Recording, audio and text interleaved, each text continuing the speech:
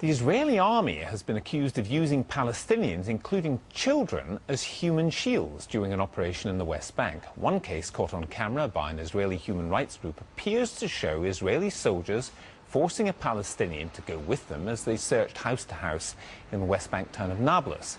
Another alleged victim who spoke to the BBC was just 11 years old. They had their weapons pointed at me. I was so afraid that the soldiers might do what they threatened, take me to jail or shoot me. Well, earlier I spoke to Jessica Montell, Executive Director of the Israeli human rights group B'Tselem, and asked her if she was surprised by the pictures. Well, the incident is particularly unique because it's the first time that we're seeing uh, photographs of Palestinians being forced to perform these um, military tasks. Um, it's not the first time that we've taken testimonies from Palestinians. In fact, over the past uh, year, we've taken about four different incidents we've documented of Palestinians who have been in one way or another um, recruited, forcefully uh, made to accompany troops, enter houses uh, ahead of Israeli soldiers.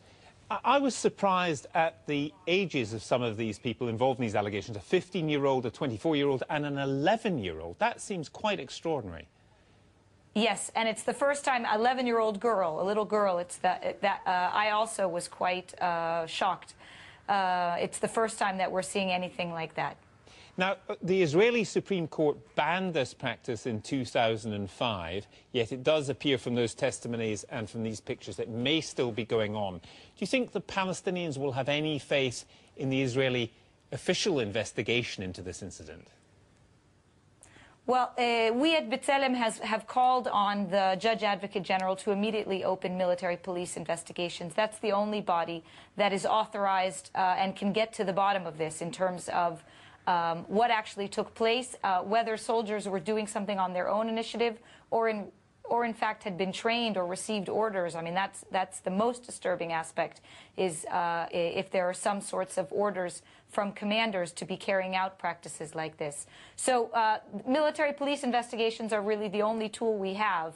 Uh, it is the case that Palestinians are fairly skeptical about these investigations. I mean, we are sending dozens of cases to the JAG's office, um, not only these cases, human shields, all sorts of suspicions of illegal behavior on the part of uh, Israeli forces. Um, they don't have a great record, although um, I would hope that in this case they would investigate seriously. And, and just a final thought then.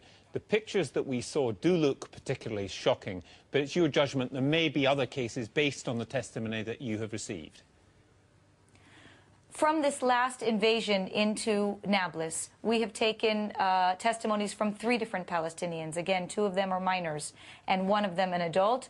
Uh, we're not aware of any other cases from this most recent um, invasion, this operation into Nablus. But again, we have had some cases, although um, they have dropped off uh, following the High Court petition in 2005, but you still see cases here and there.